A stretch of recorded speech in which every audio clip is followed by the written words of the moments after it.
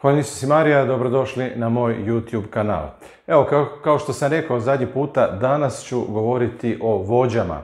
Ne znam da li ste kad razmišljali o tome, ali u Hrvatskoj ima čak 80 tisuća vođa. Ovo ne kažem ja kao Dražen Bušić, ovo kaže genetika, ovo kažu genetičari, da jednostavno je to Bogom dano, Bog je to tako dao kroz genetiku, određene sklonosti, određene talente, da bi određeni narodi i općenito civilizacija u cjelini mogla e, opstati. Jednostavno, neki ljudi su tu potrebni da bi vodili druge ljude. To, oni nisu na tim pozicijama zato što oni to žele, oni su na tim pozicijama zato što jednostavno su Bogom dani.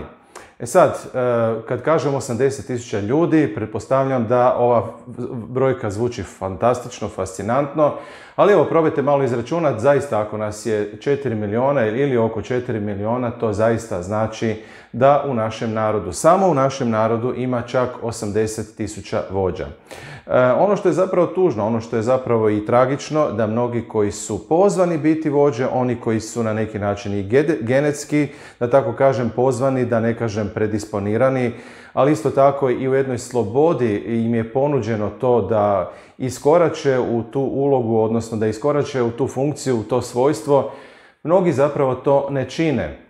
Mnogi uopće zapravo niti ne znaju za ovaj podatak, mnogi uopće niti ne razmišljaju, žive neke svoje živote, da ne kažem neke svoje male živote i baš ih briga da bi oni možda bili nekome ili na neki način vođe. Međutim, neko onda popuni taj prostor. Na to mjesto onda dođe neko drugi, netko ko možda uopće nema poziv za vođu ili nažalost na to mjesto zapravo ne dođe nitko. I onda to mjesto zapravo zjapi prazno, narod je ono kao što se kaže kao ovce bez pastira. E sad, e, kako prepoznati uopće vodstvo? Kako prepoznati taj talent u svom životu? Pa vidite, zapravo na dva načina, a često je to zapravo se nekako spaja u zapravo jednu priču. E, nekako ljudi koji su prirodni vođe osjećaju to na neki način u sebi, a osim toga ih i e, okolina prepozna. E, iz nekog razloga ja sam uvijek bio predsjednik razreda, pa čak i onda kad mi ocjene nisu bile brijante. Pa onda tamo negdje u srednjoj školi bio sam predstavnik e, učenika u, u vijeću nastavnika i u drugom razredu i u četvrtom razredu. I svako toliko do današnjega dana, a nakupio sam već dobrih 54 godine života, na nekim funkcijama, u nekim svojstvima bio sam, ajmo reći, lider ili vođa. Nisam puno o tome razmišljao, to se najčešće jednostavno tako događalo. Dakle, već tamo, kao što sam rekao, od školskih dana događala su se, mi ćemo reći u duhovnom smislu, probuđenja. E, bio sam e, učesnik, sudionik mnogih od tih probuđenja i upravo zapravo na tim nekim vodećim mjestima. E, da kad bi čovjek išao te stvari sam na neki način htjeti i željeti, onda pitanje kako bi to zapravo rezultiralo. Tako da evo vidim da u nekim situacijama sam stvarno kroz kroz svoju ovoga prošlost bio, da tako kažem, i pozvan i odabran u, ovoga, u nekim okolnostima biti upravo u tom svojstvu. Često bih to svojstvo zapravo dijelio sa još nekim drugim, često puta mladim ili manje mladim ljudima kroz ta probuđenja, tako da evo tu su nastajale neke zajednice koje su u jednom trenutku imale 10 ljudi, pa bi onda imali 100 ljudi, onda bi to preraslo jedan pokret koji danas već ima nekoliko tisuća ljudi. Bio sam neformalno evo i na tog pokreta pune 3-4 godine, dok mi gospodin nije rekao da sam napravio ono što sam trebao napraviti i da dolaze drugi mladi ljudi koji će iza, iza nas koji smo bili na tim mjestima raditi dalje stvari. Evo Bogu hvala, zaista ta priča ide do danas, neki će znati, iako ne kažem ime tog pokreta, ovoga, o čemu se radi. Evo, dakle, ili ćemo prepoznati te stvari sami u sebi ili, ćemo, ili će nas okolina prepoznati. Ali često puta zapravo smo pozvani okupljati ljude, tako da evo, recimo, kao što sam već rekao, od tih nekakvih školskih dana pa do današnjeg dana tu su bile različite inicijative koje su u kojima su se okupljale različiti brojevi ljudi. Evo, recimo konkretno, znači nakon svih tih iskustava, u ovom trenutku vodim jedan mali tim, snaga tim koji ima svega nekoliko ljudi, možda do desetak aktivnih ili poluaktivnih ljudi. Dakle, osobno se zapravo uopće nikada nisam zamarao brojem. Evo, kad gospodin kaže gdje su dvojica ili trojica, tamo sam i ja među njima. I vidite, i kad se okupi dvoje ili troje ljudi, netko mora biti formalno ili neformalno lider. E, želim vas zapravo, dragi moji, na neki način potaknuti da razmislite o tome. E, gdje možda čuči neki lider u vama, možda,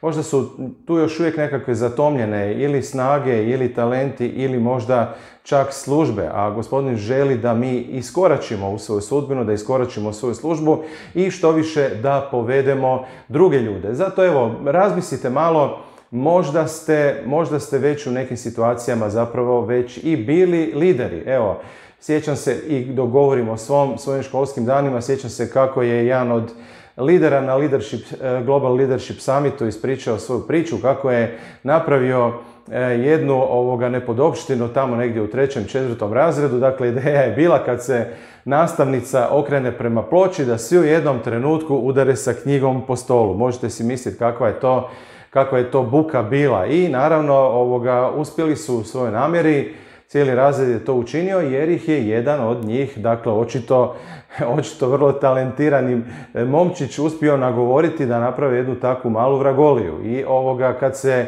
učiteljica okrenula, tražila je pogledom ko bi bio krivac i na kraju su ovoga se svi složili oko toga ko je zapravo bio, ko je zapravo bio ovoga e, ide, idejni pokretač e, cijele te stvari. Međutim, ono što je uslijedilo, iznenadilo je samog tog dječaka tada, ona ga je malo pošpotala, ali je rekla, e, nije to neko sad proroštvo, ali jednostavno valjda na temelju poznavanja ljudske e, psihologije i, i svoga do, do rada sa djecom, vidim u tebi jednog dana lidera. Jer ako si uspio za ovakvu stvar ovoga oduševiti cijeli razred, a tu su uglavnom bila dobra dječica koja inače nisu baš sklona takvim nepodopštinama, očito da ćeš jednog dana imati utjecaj na ljude. Dragi moji, vjerujem da mnogi od nas imaju svojevrstan utjecaj na druge ljude. Ja bih rekao, čovječe, ono, vodi tamo gdje jesi. E, vodi tamo gdje te gospodin postavio. Možda ukoliko vidiš da neke stvari nedostaju, bilo u društvu, bilo bilo u tvojoj, bilo u tvojoj vjerskoj zajednici. Možda ako te to kopa, ako vidiš da bi takav jedan novi mijeh bio e, nasušno potreban, možda gospodin poziva baš tebe. Možda će neko od vas reći koji me sada gledaju, ali liderstvo je samo za muškarce. Ja bih rekao, pa zapravo ne. Evo, ako uzmete malo Bibliju u ruke, onda ćete vidjeti tamo još, znači, od početaka izraelskog naroda da je ovoga bilo žena koje su u tom patriarhalnom sustavu zapravo uspjele se izboriti za mjesto vođe, ne da bi one to htjele, nego opet e, potaknute duhom Božim i tom, ajmo reći, jednom svojevrsnom genetikom. Tako da vjerujem da se sjećate sutkinje Debore, onda kroz crkvenu povijest, evo izdvojio bih Ivan Orlansku, a da ne nabrajam sad sve te silne pa ili proglašene službeno ili, ili neformalno svetice, pokretačice i osnivačice raznih redova. Tu je i majka Tereza. Ja vjerujem, ako ćemo se okrenuti oko sebe, da ćemo vidjeti mnoge sposobne žene i oko nas. Evo, e, Bogu hvala, 25 godina sam u braku s jednom vrlo talentiranom osobom, svi upoznati, tu moja supruga Kristina bez koje evo, služenje u snazi za život bi bilo prilično nepotpuno i ona u, okviru ovog našeg služenja da kako ima i određene svoje projekte koje bez kojih jednostavno ovo što mi radimo ne bi bilo onako kako vi vidite da je. Tako da Evo, ovoga, inače mi smo se zapravo dogovorili, obzirom kad bi mi gledali zapravo da su svi muževi pozvani zapravo biti vođu unutar svojih obitelji, onda bi puno, puno veći broj bio zapravo nego ovih 80 tisuća. I kad bi stvarno bilo ono što se kaže muževi ustanimo, ustanimo, iskoračimo svoj poziv, kakva bi, kakva bi nam Hrvatska bila. E sad, vidite, e, može se dogoditi da u jednom braku da postoji i muškarac i žena koji imaju određene talente za vodstvo ili barem u određenim fazama života. Tako da ću se evo malo ovoga našaliti, ali mi smo se evo oko nekih područja jednostavno dogovorili. Tako da sam ja predsjednik udruge Snaga za život, a moja supruga je vojiteljica savjetovališta Snaga za život, pa onda u šali kažemo evo pa ko je sad tu zapravo kome vođa. E, jasno je kako stvari stoje u braku, tako bi trebalo i biti, iako znamo isto s druge strane da su u mnogim brakovima zapravo žene te koje zapravo vjeruju i koje guraju stvari naprijed. Možda će zvučati malo ne fair ovo što ću sada reći, to što radite to je super, samo tako nastavite, ali Pastirski štab za vodstvo vaše obitelji gospodin je dao vašem suprugu.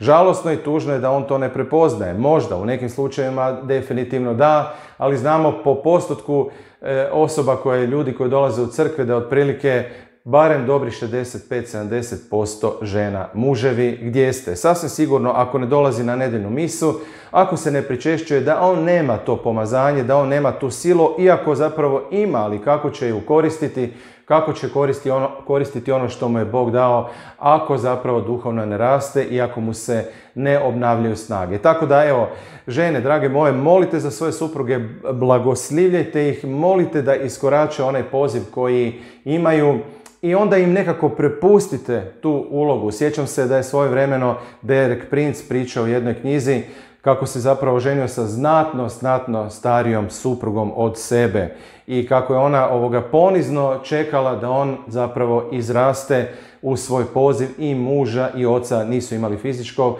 potomstvo, ali su usvojili jako, jako puno djece i kako je zapravo ta supruga koja je imala puno više životnog iskustva pa i duhovnoga čekala da ona izraste u, u taj svoj poziv i onda mu je prepustila tu zapravo palicu to vodstvo koje mu je gospodin dao i znamo kakav je zapravo izrastao duhovni div. Vjerujem da takvih slučajeva, slučajeva ima još. Ustrajemo, dragi moji, ustrajemo u tome. Još jedan ću reći, vodite tamo gdje jeste, tamo gdje vas je gospodin stavio. Nemojte se zamarati sa brojem ljudi koje vi vodite. Jer gospodin je rekao u malome si bio vjeran, nad mnogim ću te postaviti. Već sam rekao iz svog iskustva, to je išlo gore pa dole, pa mala zajednica, pa velika, pa odjednom veliki pokret, pa onda opet jedna mala udruga i gdje će i kako će to zapravo ići dalje. Uopće se zapravo s tim ne zamaram, ali znam da u određenim trenucima da sam morao zapravo iskoračiti u to, bez obzira koliko zapravo se osjećao sposoban ili ne. Znate, Bog ne poziva sposobne, nego osposobljava one koji su pozvani. To je značajna razlika. I ako se mi nikad ne odazovemo, zapravo ne samo da mi nemamo priliku, nego Bog nema priliku, zapravo Bog ne dobiva priliku razviti u nama one talente koje nam je dao. Ok, evo još ću samo nešto na kraju reći vezano za lidere. E, dobro je da su lideri, e, da, da znaju jedni za druge ili da znamo jedni za druge, da jedni druge ohrabrujemo i ono što se zapravo često puta u sekularnom govoru govori, a to je ta sinergija. Dakle, međusobna i ljubav, ali isto tako i sinergija, ma šta god to značilo, ali vjerujem da razumijete što to znači. Pojednostavljeno rečeno, zajedno smo jači, ja vjerujem, zaista vjerujem da kada se zbroje određena pomazanja, određeni talenti, da to onda daje jednu novu dodanu vrijednost. Evo, za kraj ću samo reći da mi je gospodin kroz dugi niz godina stavljao na srce nešto što mislim da možda sada, nakon možda dobrih sedam ili osam godina, e, konačno pokazuju, pokazuje nekakve svoje ovoga konture, onoga što sam ja vidio davnih dana. U jednom trenutku gospodin mi je čak rekao, ma pusti da to umre. Međutim, nikad nisam pustio do kraja. Uvijek sam se nadao jer sam znao da je to Božja volja. A to je konkretno ovoga nešto što smo ono vrijeme nazvali muževi sa poslanjem. Evo, konkretno imam na srcu okupljanje muževa, ali ne onih koji su na početku vjere, nego muževa sa poslanjem. I svako toliko mi bi se okupili ili kod jednog brata, ili kod drugog, ili kod nas u uredu. Nije to neka grupa ljudi, niti mi ne mislimo raditi nekakvu novu zajednicu, novu udrugu, nego tamo gdje jesmo, iz različitih kršćanskih službi, iz različitih nekakvih svjetova i poslovnih i medijskih i tako dalje, koji puta naći se na zajedničko obogaćivanje kroz molitvu, kroz razgovor, kroz svjedočanstva i da kako često puta i dobru večeru.